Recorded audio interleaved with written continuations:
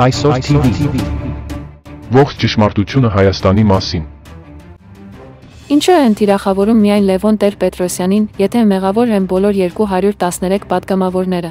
Վահրամ Աթանեսյանն իր Facebook-յան էջում գրել է. Կայքերից մեկի TV տաղավարից լսում եմ Սփյուռքահայ մտավորականին,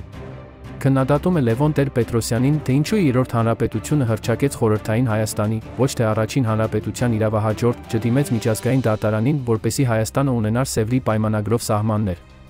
Եվը հիմնավորում է առաջին հանրապետությունը դաշնակցական էր, Տեր-Պետրոսյանը հակադաշնակցական։ Քննադատության եւ հիմնավորման անհեթեթությունը թողնենք մի կողմ, բանավեճի մեջ մտնելու ցանկություն եւ մանավանդ իմաստ չկա։ Ուղակի վկայակոչեմ փաստը։ Անկախության հռչակագիրը ընդունվել է 1990 թվականի օգոստոսի 23-ին։ Գերագույն խորհրդի նիստին ներկա 213 պատգամավորները միաձայն կողմ են քվեարկել։ Առաջին գումարման Գերագույն խորհուրդն ուներ 259 պատգամավոր։ Նիստին չմասնակցած 46 պատգամավորները գուցե դեմ են եղել հռչակագիրն այդ տեսքով ընդունելուն, չգիտեմ բայց 213 պատգամավոր քվեարկել է ազատ իր կամքով եւ համոզմունքով։